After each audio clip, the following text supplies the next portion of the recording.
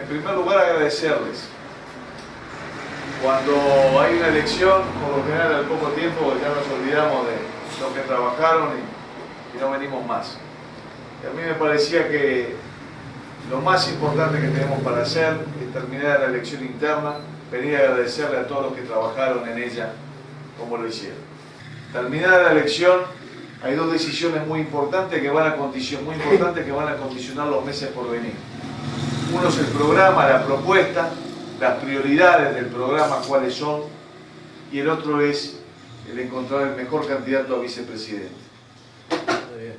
Y a mí no me parecía bien que si todos ustedes trabajaron, abrieron listas, estuvieron en las mesas, son convencionales o dirigentes o adherentes, se tomara una decisión sin siquiera consultarlos. Así que vine hoy acá, más que hablar yo, que ya hablé mucho, a escucharlos a ustedes. El sueldo mínimo, mínimo, hoy tendría que ser 10 mil pesos.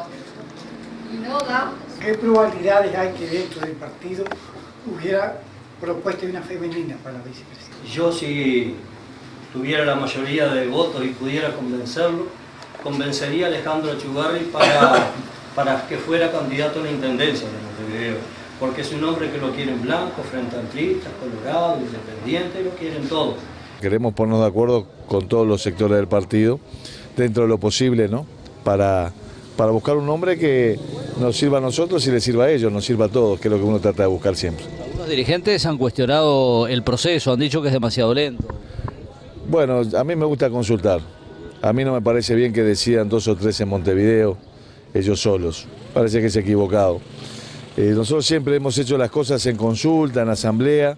En las reuniones que hemos tenido han surgido esos dos nombres, con mucha fuerza siempre, el de Achugarri y el de Coutinho, dos personas muy prestigiosas por su gestión y muy reconocidas por su gestión. En el caso de Achugarri, ministro de Economía fundamental en la salida de la crisis. En el caso de Coutinho, el intendente de mayor aprobación de los 19 intendentes.